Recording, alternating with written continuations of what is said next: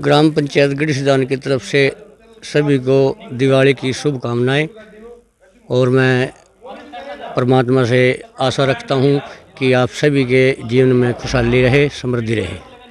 सभी का धन्यवाद।